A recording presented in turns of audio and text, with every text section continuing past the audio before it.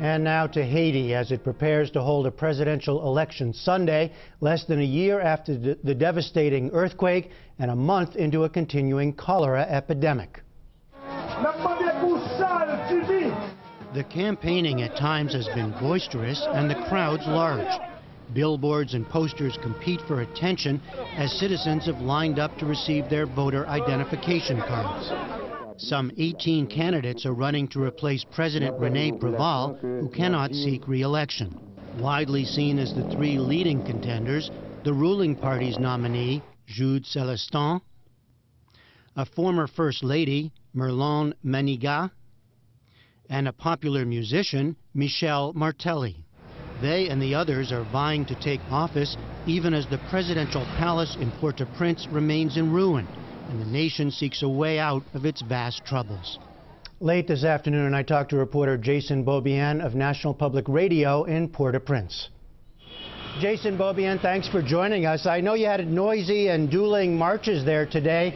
Give us, uh, set the scene for us uh, on the eve of this election. What's it like there? Yes, it's very clear that this campaign is coming coming to an end. There have been large rallies. There have been sort of trucks going through the streets with, with big loudspeakers urging people to come out and support one candidate or another. Uh, you've got 18 presidential candidates running. You've also got people running for, for lower offices. So it's been somewhat festive. The city is sort of decorated with, with campaign posters. Everywhere you go, you're seeing campaign posters at the moment. Uh, we, it's, it's, clear that this, this campaign is um, coming to an end, and, and people are going to go to the polls on Sunday. We named the uh, three leading candidates. Can you give us a sense of who they're appealing to and, and how they're doing it?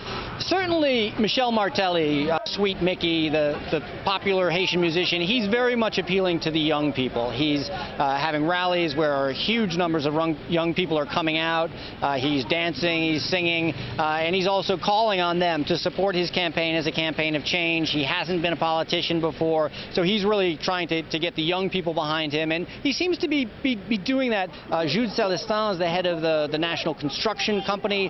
He's also trying to get the young people behind him. And in part, this is because Haiti is a very young country. Um, the majority of the people are, are young here, and, and, so people are really trying to pull them in. Uh, Mirlande Manigat, she's a former first lady she's very much the, uh, the, sort of the serious candidate, saying that she's 70 years old, she's the dean of a university, and saying that she would be the responsible one, the one who could can guide Haiti through this incredibly tough period that, that's going to be coming as they really try to get going on the recovery from this earthquake. And with all the problems there, and of course now the particularly the cholera situation, I know there had been some talk or some calls for uh, delaying this election, but I gather officials there, including the international community, decided it was better to go ahead? Yes, there have been calls by some of the actual candidates. Some of the presidential candidates themselves have called for this election to be postponed.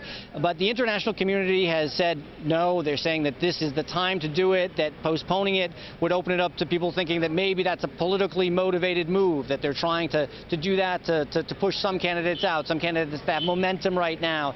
So uh, the UN chief here, he said, if we don't do it now, uh, it, who knows what kind of problems Haiti might be facing in six months or a year year, and it's better to get this transition and, and, and move on to a new administration that can tackle the, the incredibly huge task of, of rebuilding this country.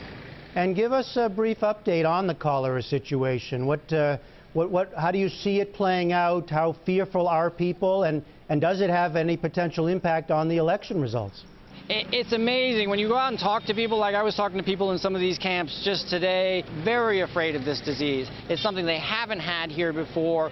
Uh, people know that it can kill them. It can kill them quickly. So there's a lot of terror out there. Uh, at the same time uh, the international community and aid groups are attempting to get out and set up uh, cholera treatment facilities around the country so, so that people can actually get treatment. I went to a camp just this afternoon. They were saying that the numbers of people coming continues to grow every day it was, it was 10 at first, then it was 20. Now it's up to 50 people a day coming in seeking treatment. And so it's certain, it's, it's clear that the situation um, is getting worse, and experts are saying they expect it to get worse before it gets better.